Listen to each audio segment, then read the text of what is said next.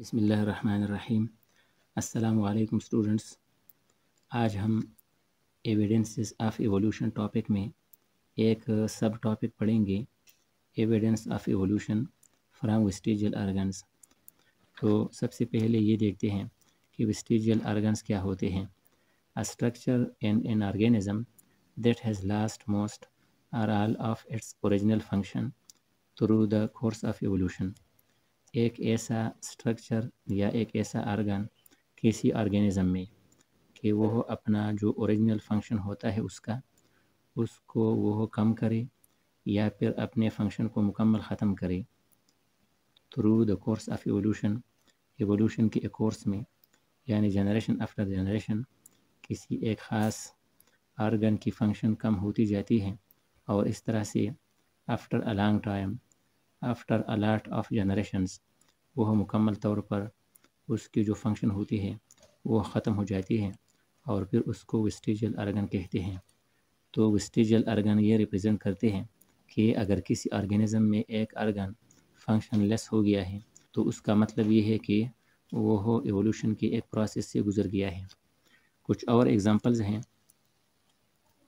Appendix in human human کے large intestine جہاں سے شروع ہوتی ہے تو وہاں پر ایک ٹیوب لائک اسٹرکچر ہوتا ہے، جس کو اپینڈکس کہتے ہیں۔ It is believed that it was fully functional یہ خیال کیا جاتا ہے کہ ہمارے انسسٹر جو تھے، ان میں یہ مکمل طور پر فنکشنل تھا۔ ان اور ہربیورس انسسٹر ہمارے ہربیورس انسسٹر میں یعنی ہمارے جو انسسٹرس تھے، وہ ہربیورس تھے، وہ پلانٹ فیڈر تھے اور ان میں یہ فنکشنل تھا۔ اس کی وجہ یہ ہے کہ چونکہ وہ پلانٹس کھاتے تھے اور پلانٹس میں جو سیلولوس ہوتا ہے سلوال میں، اس کی ڈائجیشن کے لیے اپینڈکس ضروری تھا۔ اور چونکہ آج کے جو اینیملس ہے یا ہیومن ہے، ان میں اس کی اتنی زیادہ ضرورت نہیں ہے جتنا ہربیورس انسسٹرز میں تھی۔ تو یہی وجہ ہے کہ یہ فنکشن لیس ہو گیا ہے۔ کچھ اور ایگزامپلز ہیں۔ ٹیل بون کوکسیکس اس کے ساتھ ٹیل موجود نہیں ہوتا۔ اور یہ فنکشن لیس ہے۔ Next mammary glands of male male میں جو میمری گلینڈس ہوتے ہیں، ان کا بھی کوئی فنکشن نہیں ہوتا۔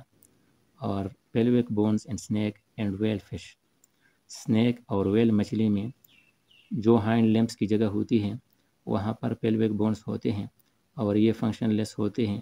لوکوموشن میں ان کا کوئی رول نہیں ہوتا۔